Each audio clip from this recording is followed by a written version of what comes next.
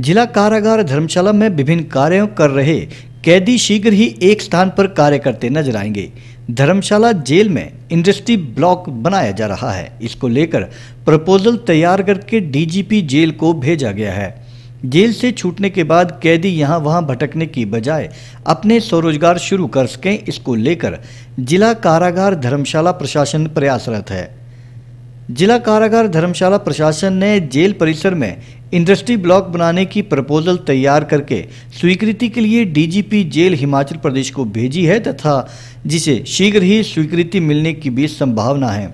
वहीं लोक निर्माण विभाग को इस बारे में निर्माण का एस्टिमेट तैयार करने को भी कहा गया है। इंडस्ट्री ब्लॉक निर्माण के लिए जेल प्रशासन को भूमि की समस्या नहीं है, क्योंकि जेल प्रशासन के पास जिला कारागार धर्मशाला परिसर में ही भूमि उपलब्ध है।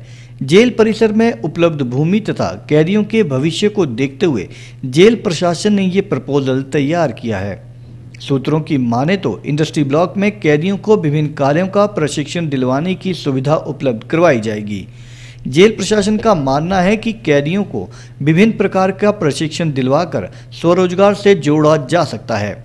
वर्तमान में जिला कारागार में कई कैदी व्हीकल वॉशिंग, बेकरी, दूध उत्पादन, मशरूम उत्पादन, सैलून, लॉन्ड्रिंग, कैंटीन और लकड़ी के कार्य आदि काम सीख रहे हैं।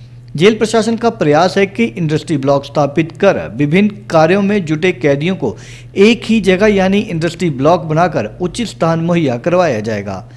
यही नहीं, जेल प्रशासन द्वारा समय समय पर कैदियों को वोकेशनल ट्रेनिंग भी करवाई जाती है, जिससे कि कैदी विभिन्न प्रकार की ट्रेनिंग करके स्वरोजगार कमा सकें। जिला कारागार धर्मशाला के डिप्टी सुपरिटेंडेंट विनोद चंबियाल ने बताया कि धर्मशाला जेल में विभिन्न कार्य कैदियों द्वारा किए जा रहे हैं। उन्हें एक उपयुक्त स्थान उपलब्ध करवाने के लिए जेल परिसर में ही इंडस्ट्री ब्लॉक निर्माण का प्रपोजल तैयार करके डीजीपी जेल को भेजा गया है। वहीं लोक निर्माण विभाग को भी इंडस्ट्री ब्लॉक का एस्टीमेट तैयार करने को कहा गया है। की प्रपोजल भेजी गई क्या? आ, देखो हम हमारे बहुत सारे वेंचर्स चल रहे हैं बहुत सारी ट्रेनिंग्स हम पिजनर को प्रोवाइड करते हैं। तो जो बेसिक ऑब्जेक्टिव है वो ये है कि जिन लोगों को हम ट्रेनिंग दे रहे हैं उनको प्रॉपरली स्किल इम्पार्ट करने के लिए कोई जगह हो जहाँ पर हम उनसे काम जो हमने ट्रेनिंग दी है उस वो उस, उस स्किल को हम फ़ोन कर सके।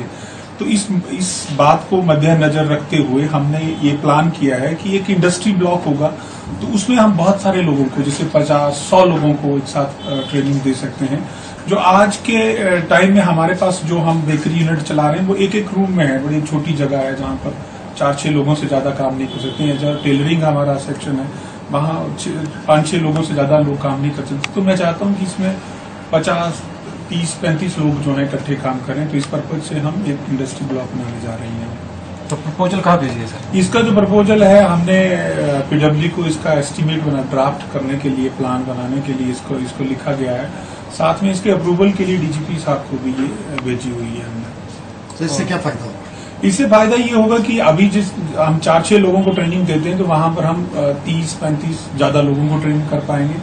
और मेरा ये मानना है कि जितने जितने भी लोग प्रिजन के अंदर आए वो सब स्किलफुल बन कर करके बाहर जब सोसाइटी में जाएँ उनमें ये कॉन्फिडेंस हो कि वो अपनी लाइफ जो है रीस्टार्ट कर सकते